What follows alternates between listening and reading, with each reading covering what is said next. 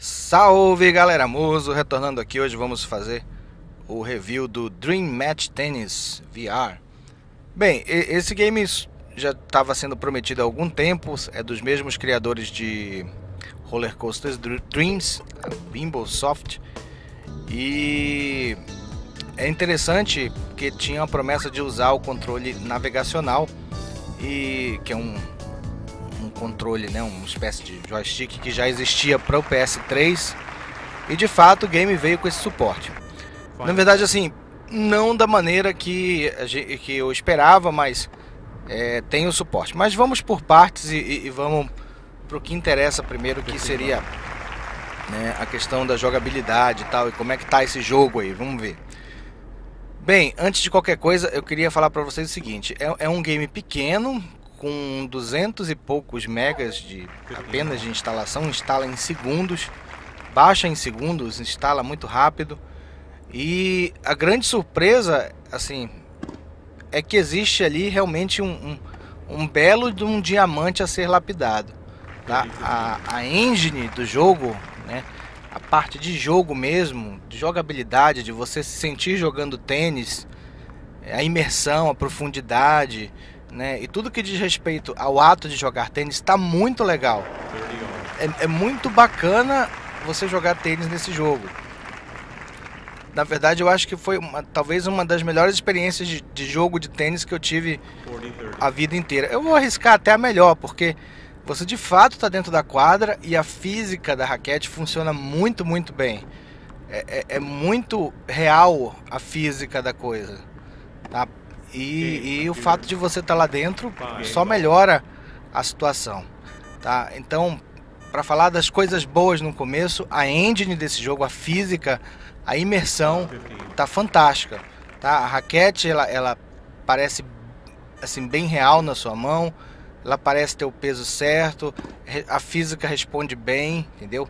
É, é claro que tem um certo grau de assistência ali, de ajuda, mas é, é, o jogo tem todas as funções para você ajustar isso aí, ajustar o peso da raquete, a velocidade com que ela responde, o quanto de força que você vai ter que fazer, tá?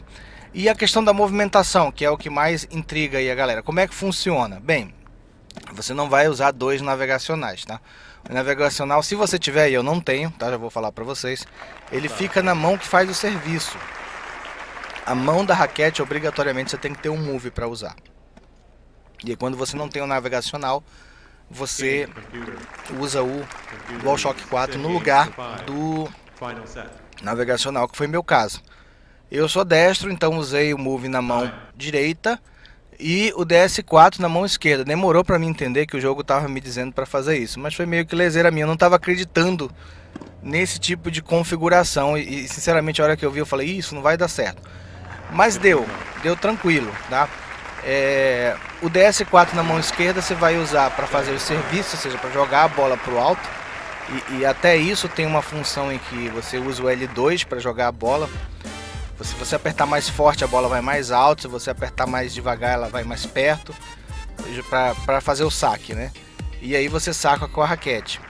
E também você usa o, o DS4 para se mover dentro da quadra, tá? Com o, o analógico L, certo?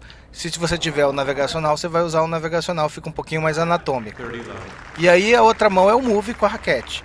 Ou, ou seja, é, é, estranho o negócio, mas funcionou muito bem. Tá? O jogo tem uma opção também de auto teleporte, que ele, quando você começa já está com essa função, que e, e é para quem é mais sensível à cinetose, mas tira boa parte da dificuldade do jogo. Então eu não, não recomendaria. Que é ou seja, quando o outro oponente bate na bola, o jogo automaticamente já te coloca, já te teleporta para uma posição em que você consiga rebater essa bola. E a sua única preocupação é rebater essa bola e fazer com que ela consiga chegar do outro lado. Mas isso, isso tira também algumas jogadas inesperadas que você eventualmente possa fazer. E, e, e boa parte do, do jogo, da graça do tênis, é se mover na quadra, né? Se posicionar adequadamente. Então tira também essa dificuldade. Bem, falado isso, tá? Como eu disse, merece elogios aí. É, tá muito legal, eu fiquei totalmente surpreso, perplexo com a com o quanto que tá bacana jogar tênis nisso aí. Mas vamos aos problemas, tá? Bem, você só joga. Primeiro problema mais grave para mim: você só joga contra inteligência artificial, contra um robozinho, na verdade, não é nem um jogador. Poderia ser um jogador de verdade para aumentar a sensação é, de, de imersão. Talvez eles tenham dificuldade de fazer essa parte da arte aí e a movimentação do jogador. O robozinho bate bola super bem e você pode também configurar o quanto que ele é bom ou não, tá? É, tem torneio, tem vários tipos de, de, de, jogo. A parte de jogo tá legal, como já falei. Mas você joga contra esse robô. É, poderia esse jogo ele clama, né? Ele pede um multiplayer, gente. Então eu, eu, eu espero e não tem, tá? Cara, você jogar contra outra pessoa seria simplesmente fantástico e, e, e renderia aí muitas horas de diversão, seria muito legal, tá? Mas não tem um multiplayer quem sabe no futuro, né? Se a gente pedir bastante, eles talvez adicionem ah, é. isso aí. Bem, a outra parte que é chata são os detalhes gráficos, né? Assim, a parte gráfica é muito boa. O, o gráfico ele é serrilhado só à distância, mas de perto é totalmente nítido. É, as, as figuras humanas que ficam em volta da quadra, elas fazem bastante barulho, mas não se mexem em nada. Ficam totalmente estáticas, o que dá assim, um aspecto de que são meio que bonecos, né? Que não estão ali, são mesmo, né? Que estão só ali como figuração, como para montar um cenário, mas nada se mexe no jogo além, além da sua raquete, o oponente e a bola, tá? O céu não se mexe, tem nuvem, mas não se mexe. Então, assim, basicamente é, é, é essas coisas que faltam ajeitar.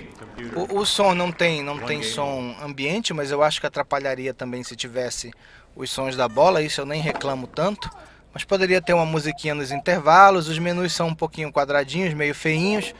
Mas, cara, o básico do jogo que realmente interessa tá ali. Se eles colocarem um multiplayer no futuro, esse jogo fica assim totalmente perfeito. E se, e se fizerem, né, a plateia de vez em quando mexer a cabeça e tal, o juiz que está ali do jogo se mexer realmente, né? A parte de som é até até tá adequada, nem falo nada disso, mas melhorando um pouquinho, é, deixando o, o, o estádio um pouquinho mais vivo, tá? A engine do jogo já está perfeita, que é o mais importante, que é o que garante a jogabilidade. No mais, cara, uma grande surpresa pelo preço. Se você gosta de tênis e quer ter essa sensação de jogar tênis em realidade virtual, tá valendo sim tá? E, e vamos torcer para que esse jogo tenha um multiplayer no futuro, que aí vai ser bem melhor ainda. É isso aí, pessoal. Review de hoje curtinho. Um grande abraço e fui!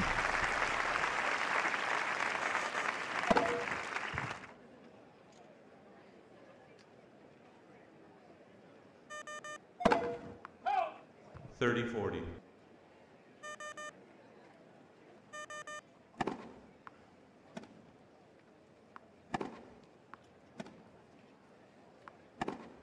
Game, computer. Computer leads two